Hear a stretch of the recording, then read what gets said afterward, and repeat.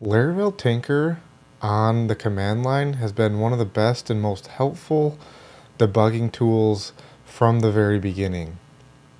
We can take this one step further and use Laravel Tinker in PhpStorm in an interactive way without having to restart with autocomplete and a bunch of other helpful tools.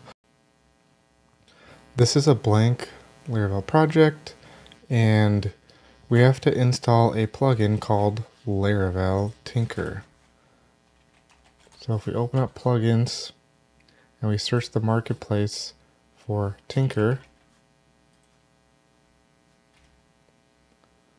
it's going to be this one right here by Robin Scheppers.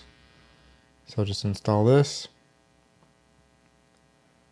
After that's installed, if you hit Control Shift T, it brings up this new window.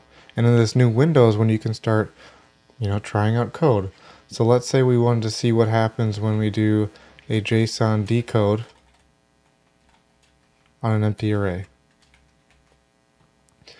Now on the Mac, if you hit Command Shift T, it'll run this. On Windows, there's a conflicted shortcut, so you'd have to adjust your shortcut. You can click this green button to run it, and once you run it, over here on the right, it's going to show you the output. So if we want to adjust that shortcut, we can open up the keyboard shortcuts. And if we click this button here, we can just do Control Shift T or Command Shift T, and we can see that there's a conflicting shortcut. So I'm going to go ahead and I'm going to remove that. This is a really big time saver. So now when I hit Command Shift T, every time I do that while I'm in Tinker, it's going to run the code.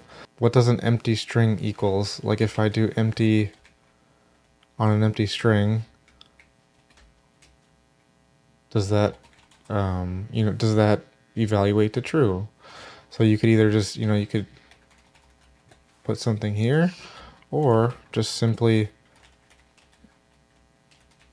go like this and it will output the value there. So again, this is the one of the best, most useful tools that I use on a day-to-day -day basis when I'm just trying to test out to see what a little part of the code that I'm working on um, is doing.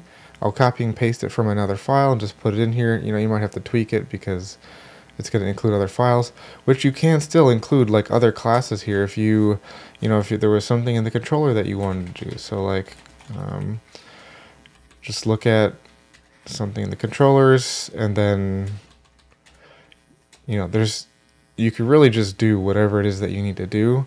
I tend to keep them pretty small um, small bite-sized units. It's easier to work with there but yeah I hope that was helpful for you guys